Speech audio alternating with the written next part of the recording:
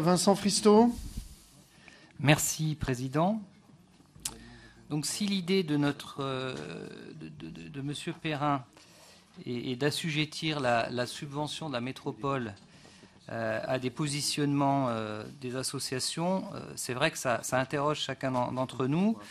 on ne va pas faire ici le débat de, de Roibon, mais on, connaît bien le, saccage environnemental qui est proposé dans ce dossier et, d'installer une zone tropicale euh, dans les Chambarans. On voit bien la démesure aussi. Et donc, ce qu'il faut, pour revenir sur la délibération, euh, les associations agissent dans le cadre de leur objet euh, des statuts. Et si elles agissent en justice, eh bien, c'est bien dans ce cadre-là qu'elles sont même admises en justice à pouvoir intervenir.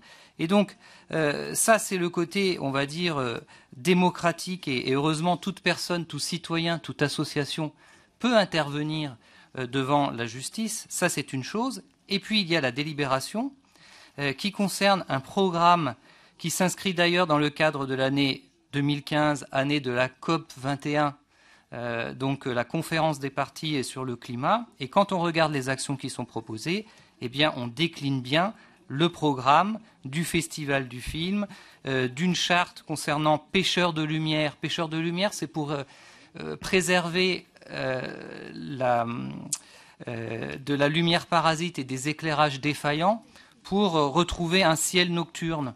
Donc voilà 5000 scolaires qui profitent des sorties du dispositif. Voilà l'objet qui est à subventionner à travers la délibération.